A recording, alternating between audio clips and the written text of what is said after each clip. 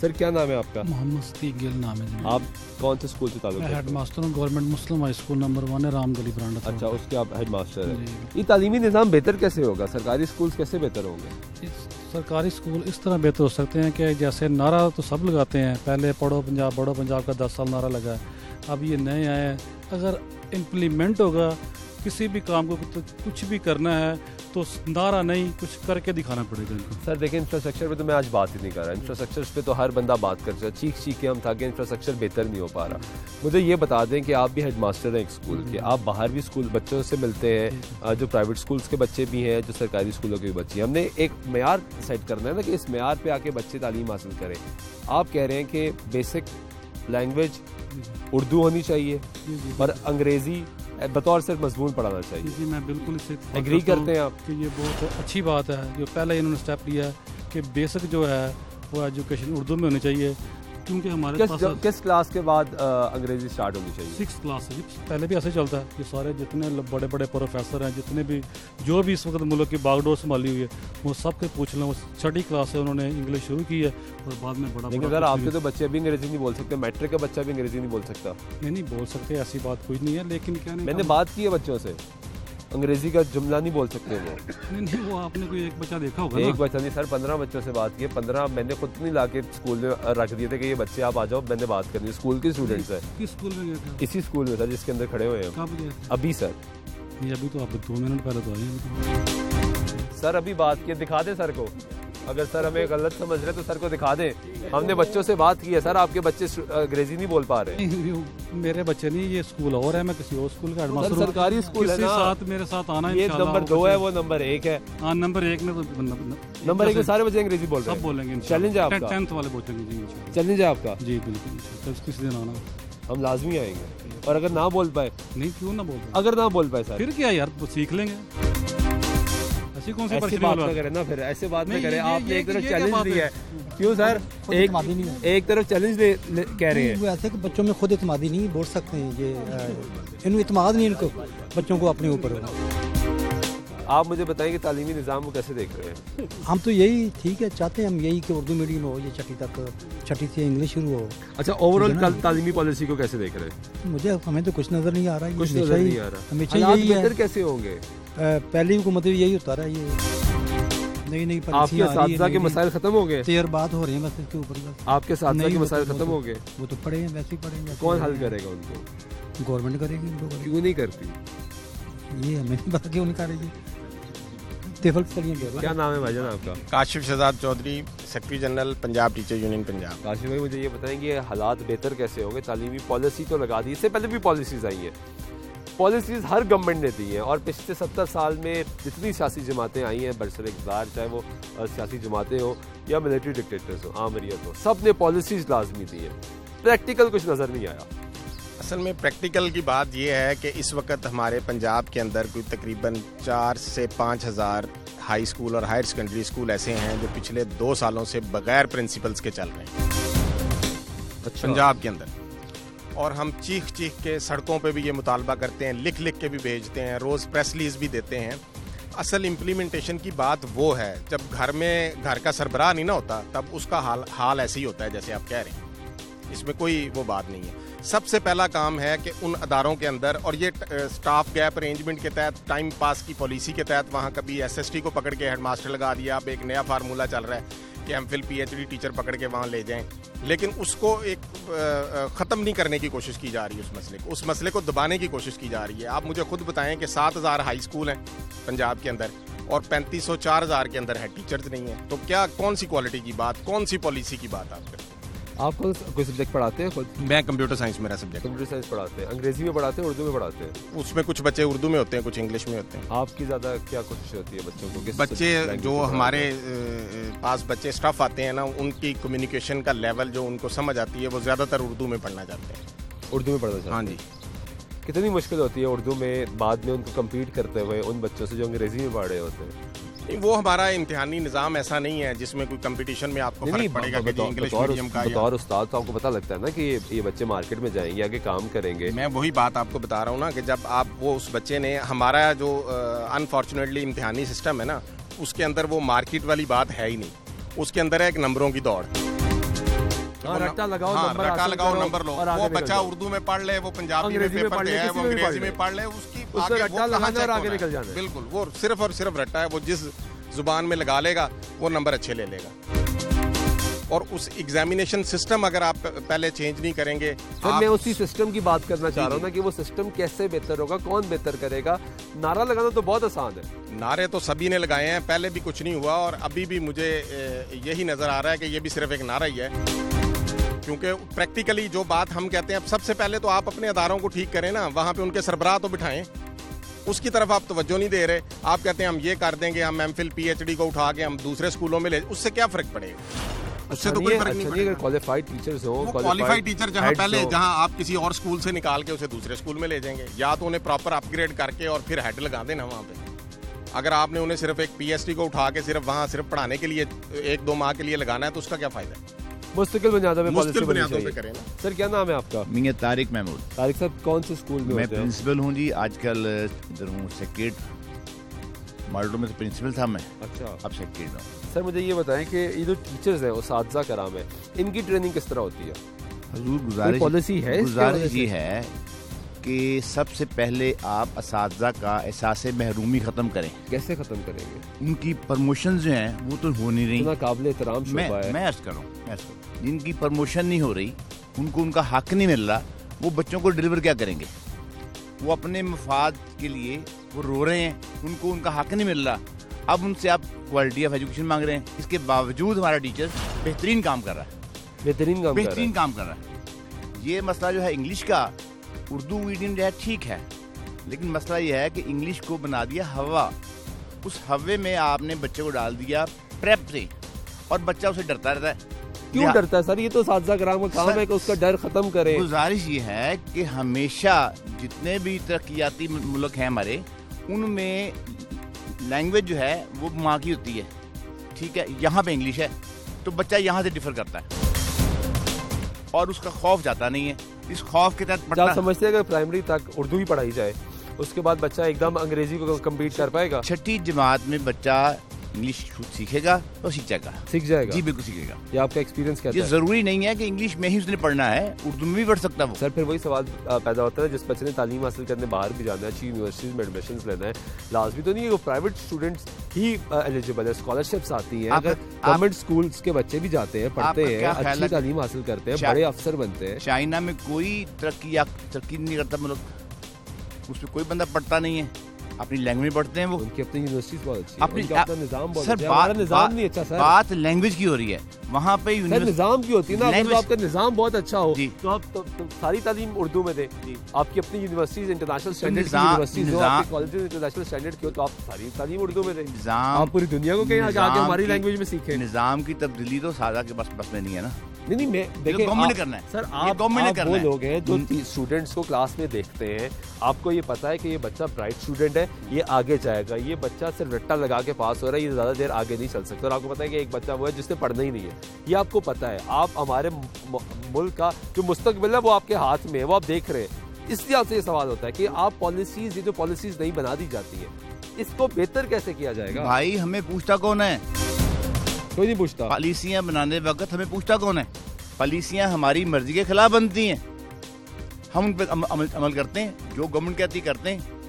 बच्चों की हाजिरी लगाते हैं सुबह सुबह उठ के। और रफ लगाते हैं बो- बो- जाली लगाते हैं ताकि हमारा रेट ऊपर चला जाए अपने अदारे का। और हमारे ज़िले का रेट ऊपर चला जाए। डी ओ साहब सी ओ साहब को इनाम मिल जाए। उनके इंस्ट्रक्शन है कि हर जगह फ्रॉड हो रहा है। हर जगह फ्रॉड हो रहा है। और गवर्नमेंट लेवल पे फ्रॉड हो रहा है। अब टीचर जो रजिस्ट करेगा वो खड़ा है आपके सामने। बात करें पाकिस्तान तरीके इंसाफ की तालीमी पॉलिसी की। कप्तान का नारा था कि मुल्क में तालीमी निज़ाम बेहतर करने के लिए तालीमी एमरजेंसी नाफिज की जाएगी। तालीमी स्कूल जो है, सरकारी स्कूल से अगर बात करें तो हमने सरकारी स्कूल आपको दिखाए, पिछले दस साल में ये सूरत पंजाब में रही है कि एक हज़ार पैंतीस स्कूल सिर्फ़ सरकारी स्कूल बने हैं। एक तरफ़ हमने पिछले प्रोग्राम्स में आपको दिखाया कि सरकारी स्कूल्स के हालात क्या हैं, उसके बाद आपको पेफ और पीफ के तहत जो इदारे चल रहे हैं, उनके मसाइल आपको दिखाए। पैफ वाले शोर मचा रहे हैं कि स्कूल्स बंद किए जा रहे हैं जो पब्लिक प्राइवेट पार्टनरशिप पे स्कूल चल रहे हैं। एक तरफ़ पंजाब गवर्नमेंट ये कहती है कि, दानिश, स्कूल्स बहुत ज़्यादा महँगे पड़े हैं। इसका रिज़ल्ट उनका चाहे अच्छा आ रहा है, लेकिन इससे फ़र्क नहीं पड़ता क्योंकि जो दूसरे सरकारी स्कूल्स हैं, वहाँ पे बच्चों पर कम पैसा खर्च किया जा रहा है। तो अब पॉलिसी ऐसी सामने है, उस्मान बुजदार साहब वजी पंजाब तकरीर से खिताब करते हैं। वो कहते हैं कि एक ऐसी पॉलिसी मुतारफ कराई जा रही है ताकि चौलिस्तान में पढ़ने वाले बच्चों को भी लाहौर के लेवल पर तालीम प्रोवाइड की जाए। लाहौर के, लाहौर में पढ़ने वाले सरकारी स्कूलों में बच्चों की जो हालात है, वो आपने देख ली है। हमने एक स्टूडेंट से बात की है प्राइमरी के स्टूडेंट से बात की और उसके बाद सेकेंडरी के स्टूडेंट से बात की मेट्रिक के स्टूडेंट से बात की। वो अंग्रेज़ी का लफ्ज़ नहीं बोल सकते या सादा अंग्रेज़ी नहीं बोल सकते और मुराद साहब वज़ीर तालीम है बर स्कूल एजुकेशन की। वो क्या गुफ्तु करते हैं, वो भी आप सुन चुके हैं। मेरे साथ काशिम मिर्ज़ा साहब मौजूद हैं president all private school federation के इनसे मैं जानने की कोशिश करता हूँ क्योंकि पॉलिसीज़ हमेशा मुतारफ़ करवाई जाती है। जितनी पाकिस्तान में सियासी जमातें हैं, इन्होंने अपनी पॉलिसी मुतारफ़ करवाई और हमने देखा कि अल्फाज को तब्दील कर दिया जाता है, बड़ी खूबसूरत तरीके से पॉलिसी मुतारफ़ करवा दी जाती है, लेकिन अमली तौर पर कुछ नज़र नहीं आता। काशिफ साहब, बहुत शुक्रिया वक्त देने का। कैसी पॉलिसी लगी तरीके इंसाफ की? हाँ मैं तो अभी तक पॉलिसी को ढूंढ रहा हूँ कि पॉलिसी इनकी है कहाँ और किस तरह से ये इम्प्लीमेंट करने जा रहे हैं। ये ठीक है कि कागज़ों की हद तक तो पॉलिसी हमेशा ही बहुत अच्छी रही है। मुझे याद पड़ता है लगभग कोई बीस बाईस मुख्तु पॉलिसीज़ तो मैं खुद देख चुका हूँ कि अब तक इन सत्तर सालों में आ चुकी हैं। इंपॉर्टेंट वो पॉलिसी नहीं होती इंपॉर्टेंट उसकी इम्प्लीमेंटेशन होती है। अगर आपकी इम्प्लीमेंटेशन की विल नहीं है तो आप जितनी मर्ज़ी भी अच्छी जो है अभी तक नहीं हो वो नहीं है। और मुझे बज़ाहिर लग भी नहीं रहा। अल्लाह ना करे कि ऐसा ही हो क्योंकि हमें तो इम्पोर्टेंट ये है कि इस मुल्क को कोई ना कोई डिलीवर करे। और हम तो इसी उम्मीद में थे। इमरान खान साहब से बहुत सी उम्मीदें हैं और उस्मान बुजदार साहब से भी बहुत सी उम्मीदें हैं। आपका सूबा पंजाब, पाकिस्तान का सबसे बड़ा सूबा है और दुनिया की आबादी के लिहाज से देखें तो आबादी में भी सोलहवीं बड़ी मुल्क की हैसियत में वो आबादी है। तो इतनी बड़ी आबादी में अगर हम देखते हैं, आपके पिछले 20 सालों में तिरसठ हज़ार स्कूल थे जो कि अब कम होकर इस वक्त जो है स्कूल वो बावन हज़ार रह चुके हैं और आबादी आपकी 57 परसेंट बढ़ चुकी है। जबकि हम दूसरी तरफ़ देखते हैं अकेला लाहौर शहर है दो करोड़ से ज़्यादा आबादी है और आपके 1200 पब्लिक स्कूल हैं। तो पॉलिसी नज़र आनी चाहिए। देखिए सिलेबस करिकुलम को आप यकसा करें ये हमारा भी मुतालबा है। बहुत सुने पढ़ा लिखा पंजाब का नारा भी सुना। पढ़ो पंजाब बड़ो पंजाब का नारा भी सुना।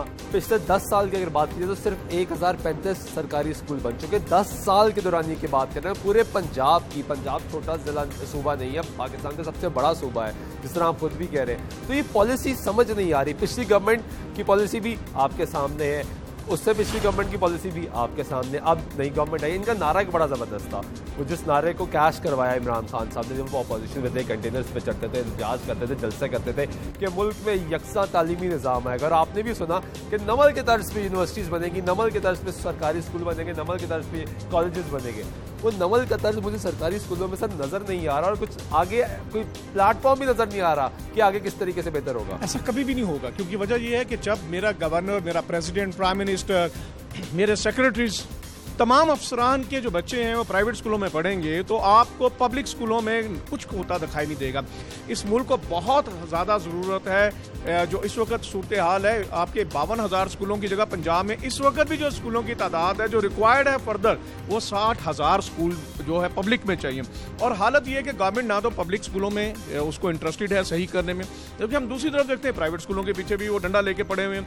उनको बंद करने की तरफ़ है कभी कमर्शलाइजेशन का कभी फ़ीस का इशू वाले चीख रहे हैं मैंने प्रोग्राम किया पूरे लोग लाहौर में आए पंजाब भर से एहतजाज करने के लिए कि ये सरकारी सेमी गवर्नमेंट स्कूल्स हैं नीम सरकारी स्कूल है इनको सरकार पैसा देती है। वो स्कूल्स बंद हो रहे हैं बच्चे स्कूलों से बाहर निकल रहे हैं स्कॉलरशिप नहीं दी जा रही पेफ को स्कॉलरशिप नहीं दी जा रही। तो पॉलिसी सर क्या है? मैं तो यही कह रहा हूँ जब आप कंफ्यूज सिचुएशन में होते हैं आपका माइंडसेट कंफ्यूज होता है आपको पता नहीं है कि आप करना क्या चाह रहे हो तो यही वहाँ से अलमिया है कि हमारे पास जब तक विजन नहीं होगा। मैं मेरा ख्याल है कोई लगभग को शायद चार या पाँच सेक्रेटरी साहबान जो हैं अभी इस मौजूदा दौर में तब्दील हो चुके हैं तो पॉलिसी सेट कहाँ होगी? आपका ऑफिसर काम करने को तैयार नहीं है इम्प्लीमेंटेशन आपको कहीं दिखाई नहीं देती। हम खुद कहते हैं यकसानी साहब हो हम मानते हैं ठीक है तरक्की हमेशा अपनी ही जो है ज़ुबान में होती है आपने कहा ठीक है जी इंग्लिश जो है उसकी जगह उर्दू होगा हम उसको भी आपके साथ फॉलो करेंगे। लेकिन आप मुझे बताएँ कंपीट करेंगे कैसे? सर मेरा यही बुनियादी सवाल है। मैंने अभी मैट्रिक के बच्चे से सवाल किया कि मुझे अंग्रेज़ी में यह बता दें कि उसका नाम क्या है उसका वालिद क्या करता है और वो रहता कहाँ है। वो नहीं बता सका। वो बेसिक जो वो एप्लीकेशन में भी लिखता है, रट्टा लगा के एस में भी लिखता है, रट्टा लगा के माई सेल्फ जो लिखा जाता है, उसमें भी वो लिखता है रट्टा लगा के। लेकिन वो बोल नहीं सका। ये मेट्रिक के स्टूडेंट की बात कर प्राइमरी के जो हालात थे, वो तो खैर बहुत ही बुरे थे। बच्चों को ये नहीं पता कि ऑक्यूपेशन का मतलब क्या है। साथजा उनसे मैंने सवाल किए। बेसिक अंग्रेज़ी के सवाल, वो प्रोनाउंस नहीं कर सके वर्ड बोल नहीं सकते। ये तालीमी मैं आपसे इस बात पे एग्री करता हूँ, ये तो आप मैट्रिक की बात कर रहे हैं। बिलीव मी पिछले 20 सालों से मैं यही काम मैं कर रहा हूँ रिक्रूटमेंट इंडक्शन इंटरव्यूज़ तो लगभग आप हैरान होंगे 90 परसेंट मुझे जो जो इतफाक होता है, अफसोसनाक।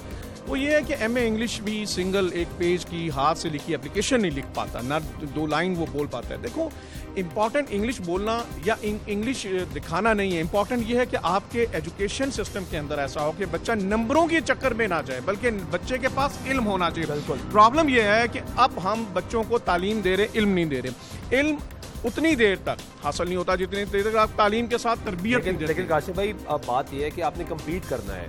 एक तरफ़ आप बात करते हैं यकसा तालीमी निज़ाम यानी अमीर का बच्चा जो तालीम हासिल करे गरीब का बच्चा भी वो तालीम हासिल करेगा। main अमीर का बच्चा नर्सरी प्रेप वन अंग्रेज़ी बोलना शुरू हो जाता है। गरीब का बच्चा मैट्रिक तक अंग्रेज़ी नहीं बोलता। आपको पता है पंजाब में 48 फ़ीसद लोग हैं अंग्रेज़ी का एक लफ्ज नहीं बोल सकते। ये स्कूल गोइंग बच्चों का सर रिकॉर्ड है। मैं- फिर मैं मैं तालीमी पॉलिसी को कैसे देखूँ? आपने परवेज लाई दौर भी देखा। जब से मैं आपको जान रहा हूँ आपने शबाज शरीफ दौर भी देखा। अब आप ये दौर भी देख रहे हैं। वो पॉलिसी सर मुझे समझ नहीं आ रही। देखिए मैं खुद गवर्नमेंट में कुछ अच्छा काम भी करता रहा हूँ। मैं सीएम का भी एडवाइज़र हूँ मैं गवर्नर साहब के साथ भी एडवाइज़र हूँ। बिलीव मी इन लोगों की विल नहीं है। नहीं ये ये इसको इम्प्लीमेंट करना नहीं चाहते। अगर ये लोग एक ऐसा देखिए फिर नारे कौन मारेगा? इन इनके इनके जलसों में उन्हीं बच्चों की औलादों जो आगे नस्लें बननी है उन्होंने जाके नारे मारने होते हैं। ये वो निज़ाम देते हैं। आपको याद होगा एक साल के अंदर हंड्रेड से हंड्रेड टेन डेज़ का सेशन होता है। बाकी ये जानबूझ के छुट्टियाँ कराते हैं। कभी गर्मी के नाम पे कभी सर्दी के नाम पे। टू फोर्टी डेज़ का सेशन इंपॉर्टेंट है पूरी दुनिया में स्टैंडर्ड है। ये क्यों नहीं करते? इनके अपने बच्चे तो जाके बाहर पढ़ते हैं। इनके अपने बच्चे जिस निज़ाम में ग्रो कर रहे हैं वो निज़ाम आपसे मैच ही नहीं करता। है हेड मास्टर्स नहीं है टीचर्स नहीं है वो होंगे भी नहीं। आ नहीं रहे। इनसे पूछेंगे आपको कहेंगे हमारे पास पैसा नहीं है। आखिरी आखिरी सवाल का जवाब ये दे दें। कि निज़ाम बेहतर कैसे होगा? सिर्फ़ उसमें बुनियादी चीज़ यह है कि हम ये ज़रूर कहते हैं कि नारा लगाते हैं कि हम तमाम निज़ाम को बेहतर करेंगे।